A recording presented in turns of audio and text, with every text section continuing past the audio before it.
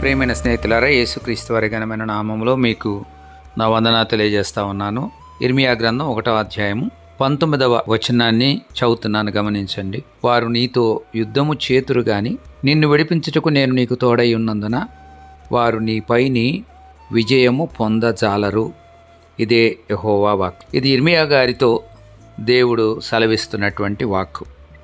దేవుడు గర్భంలో ఉండగానే గర్భంలో రూపింపబడక ముందే దేవుడు ఆయన్ని ఎరిగాను అన్న విషయాన్ని ఆయన ప్రస్తావిస్తూ ఉన్నాడు. నీవు గర్భంలో నుండి బయలుపడక ముందే నేను నిన్ను ప్రతిష్ఠించాను జనములకు ప్రవక్తగా నియమించాను అని దేవుడు ఆయనతో చెబుతా ఉన్నాడు. చాలా బాలుడుగా ఉన్నప్పుడే ఈ ప్రవక్త అనేటువంటి వృత్తిలోనికి దేవుడు ఇర్మియాను పిలిచినట్టుగా మనం గుర్తించగలం. ఎందుకంటే దేవుడు ఆ మాట చెప్పినప్పుడు ఆయన అంటాడు అయ్యో ప్రభోగే హోవా చిత్తగించుము నేను బాలుడనే. మాట్లాడటకు నాకు శక్తి చాలదని నేను అనగా అని ఆరవచనంలో మాట్లాడతాడు. కాబట్టి బాలుడిగా ఉండగానే దేవుడు ఆయనను రాజుల యొద్దకు పెద్దల యొద్దకు న్యాయాధిపతుల యొద్దకు అనేక మంది దగ్గరికి ఈవెన్ ఫాల్స్ ప్రాఫిట్స్ దగ్గరికి కూడా దేవుడు పంపిన పరిస్థితిని మనం చూస్తాం. వీరందరూ ఇర్మియాతో యుద్ధం చేయడానికి కొరకు వచ్చిన పరిస్థితిని మనం గమనిస్తాం. అతను చంపడానికి కొరకు వాళ్ళు ప్రయత్నం చేసిన పరిస్థితిని కూడా మనం గమనిస్తాం.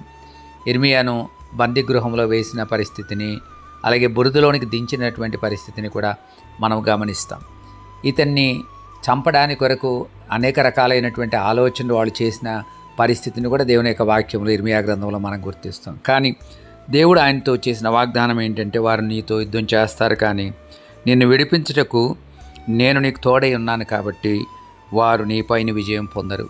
దేవుడు మనతో ఉన్నట్లయితే దేవుడు మనను విడిపిస్తాడని రెండవది మన వారు మనపైన యుద్ధం చేసినా కూడా వారు జయము పొందలేరు అన్న విషయాన్ని మనం గుర్తించాలి. దేవుడు మనకు తోడుగా ఉంటే మనమే విజయులమండి. మనం అన్నింటిలో అత్యధికమైన విజయం పొందుతున్నామని పౌలు గారు మాట్లాడతాడు. మనము లోకమును జయించినటువంటి విజయం మన విశ్వాసమని వ్యవహార మొదటి పత్రికలో కూడా మనం చదువుకుంటాం. కాబట్టి దేవుడు మన పక్షంగా ఉన్నాడు. మన పక్షంగా ఆయనే యుద్ధం చేస్తాడు. మన పక్షంగా కార్యం ఆయన నెరవేర్చేటువంటి వాడుగా ఉంటాడు. కాబట్టి శత్రువులు మనకు ఉండవచ్చు. వారు యోచనలు దుర్యోచనలు మనను చంపడానికి మనకు హాని చేయడానికి ఇబ్బంది పెట్టడానికి మన యొక్క జీవితాన్ని నాశనం చేయడానికి మన భూమి మీద లేకుండా చేయడానికి వాళ్ళు ప్రయత్నం చేయవచ్చు కానీ వారు మనపైన జయము పొందలేరు అన్నటువంటి వాస్తవాన్ని మనం గుర్తించాలి. ప్రభు అంటున్నాడు I'm with you and I will fight for you నేను నీ కొరకు నేను యుద్ధం చేస్తాను కాబట్టి వారు నీపైన విజయం నొందరు. మీరు మీ జీవితంలో ఇలాంటి పరిస్థితులు ఎదుర్కొంటూ ఉంటే ఈ వాగ్దానాన్ని చేపట్టి అడగండి.